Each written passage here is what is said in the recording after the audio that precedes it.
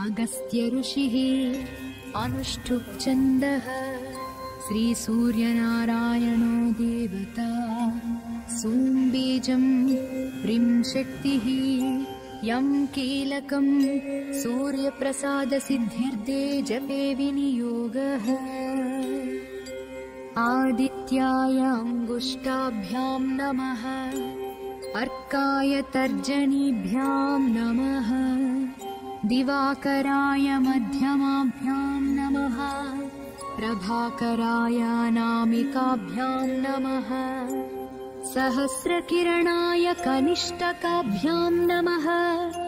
मार्ताण्डाय करतलकरपृष्ठाभ्याम् नमः आदित्याय हृदयाय नमः। अर्काय शिरसे स्वाहा। दिवाकराय शिखायैव षट् प्रभाकराय कवचाय हुम् सहस्रकिरणाय नेत्राय वौषट्। मार्ताण्डाय अस्त्राय फट्। भूर्भुवः सुवरोमिति दिग्बन्धः।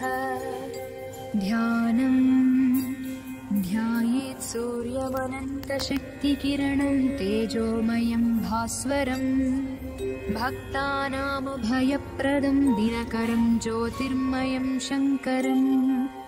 आदित्यम् जगदीशमच्युतमजम् त्रैलोक्यचूडामणिम् भक्ताभीष्टवरप्रदम् दिनमणिम् मार्ताण्डमाद्यम् शुभम्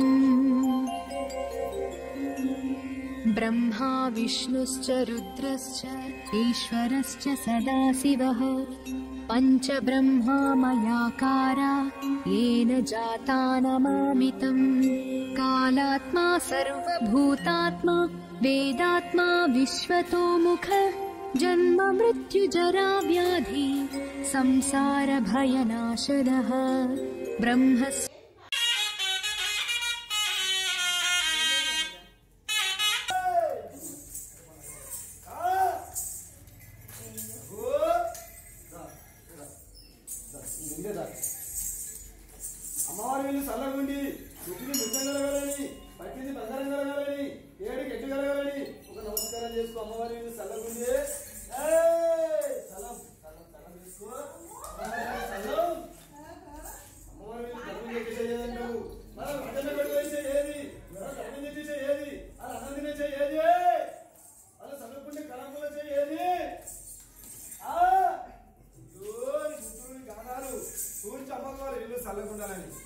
Salimos a luego